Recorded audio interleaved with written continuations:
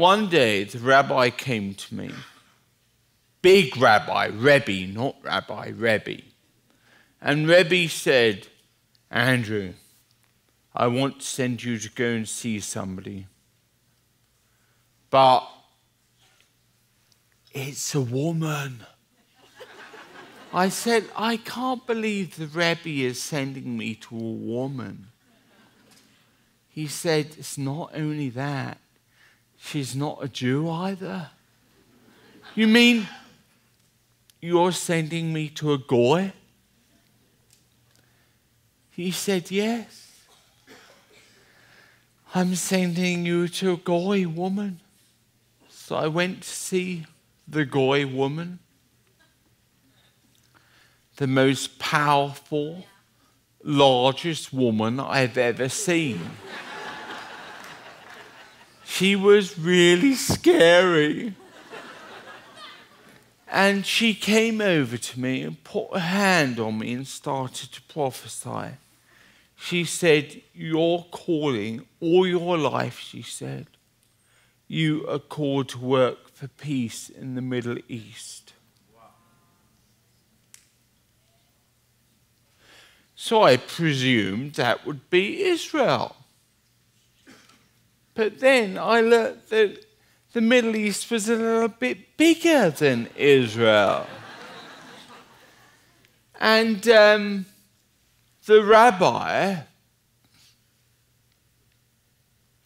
my Rebbe, is still working with me all the time. And it's phenomenal how this rabbi sent me to this lady who is a Christian, who is inspirational. And she prophesied, My calling was peace in the Middle East and not just Israel. Nowadays, I'm director or president or something or the other of the Jerusalem International School for Reconciliation training. And every year we have a school which is open to everybody, where we take people into Jerusalem and at Christ Church Jaffa Gate we train them in the intricacies of Middle East peacemaking.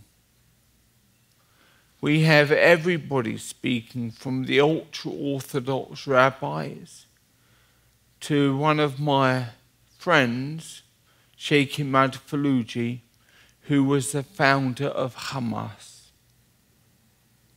He founded Hamas. And one day, God called me to work to bring the religious leaders of Israel and Palestine together. And he was one of the leaders of Palestine. So I started working at this.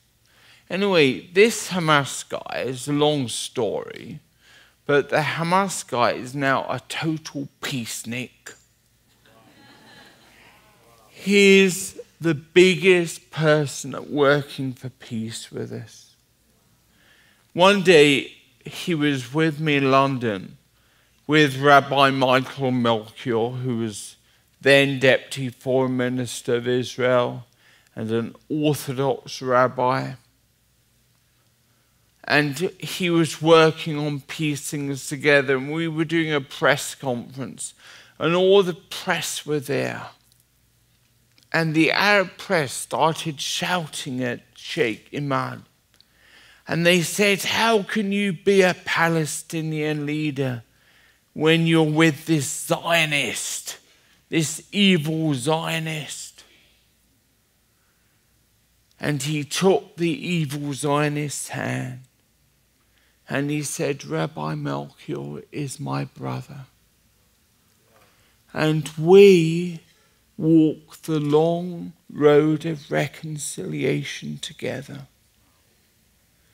We're not there yet, but we will keep going until we are there.